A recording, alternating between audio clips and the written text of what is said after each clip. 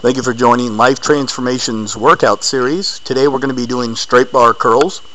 With that straight bar curl, it's a uh, basic overall bicep workout.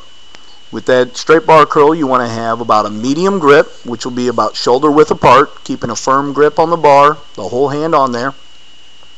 You're looking for nice, smooth repetitions. Having a long stretch will take you about 97% of the way down. That way we don't get that tendon involved too much at the bottom end. And then a nice strong contraction on the way back up while keeping that elbow in place. With that first set, you want to make sure that you're getting a good warm-up, a waging but not too heavy, so that way you can keep that good form. The second set, you're going to, again, find a little bit heavier of a weight, but not too much. And then with that third set, we're going to be getting closer to that failure mark with that eight reps. This is where a spot will come in, help you get those extra one or two set reps, so that way you can get that nice hard contraction while still keeping that weight moving. This has been Life Transformations, KC.com.